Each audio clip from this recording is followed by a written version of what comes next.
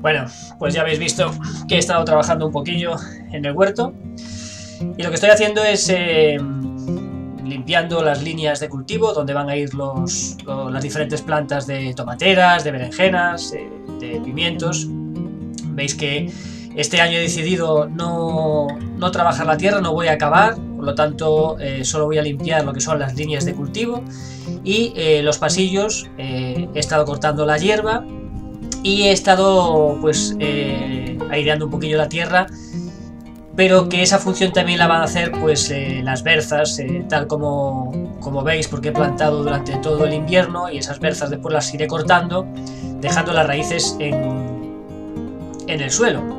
Y por lo tanto eso tanto ahora que están creciendo como después cuando las corte pues van a hacer la función de, de no dejar que la, tierra pues se apelmace demasiado.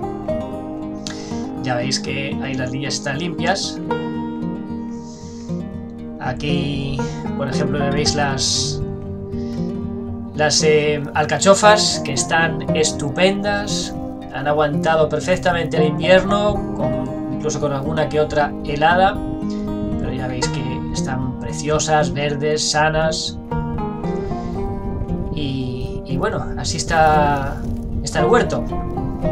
Eh, al dejar la hierba crecer durante todo el invierno, pues eh, eso evita que, que, la lluvia impacte directamente en el suelo y lo, protege también de las heladas.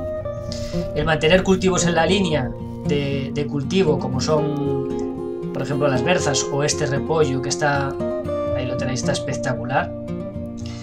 Cultivar repollos durante el invierno es todo beneficios porque no se desarrollan demasiadas plagas eh, con unos mínimos cuidados pues eh, se desarrollan perfectamente.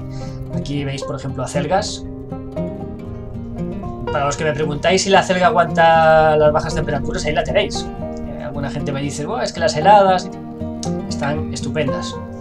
Las heladas si son prolongadas pues la van a marchitar mucho y la van a afectar, pero si son heladas puntuales y, no son prolongadas en el tiempo, vais a, cultivar unas, acelgas estupendas.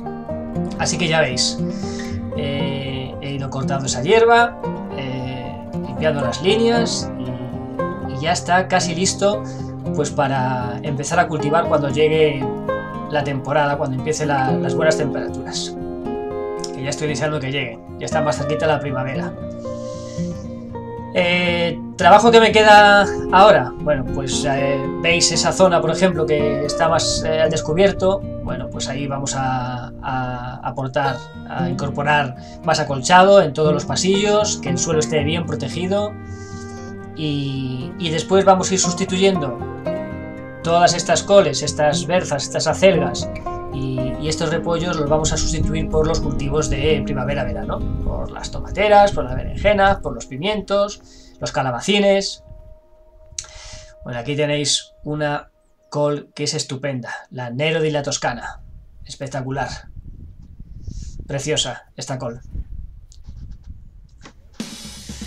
Bueno, y aquí tenéis unas eh, berzas blancas que he dejado que se suban a flor. Me gusta dejar que se suban algunas coles a flor pues para que aporten a los insectos que empiezan a, despertar de la hibernación, pues eh, tengan aquí su alimento y atraigan pues, insectos polinizadores e insectos beneficiosos para nuestra huerta. Así que nada, espero que os haya gustado el vídeo, ya veis cómo está todo. Poco a poco voy trabajando la huerta para dejarla lista para los cultivos y, nada, que como digo siempre, un saludo de Juanjo desde Galicia, aquí en Diario de Neno Labrego.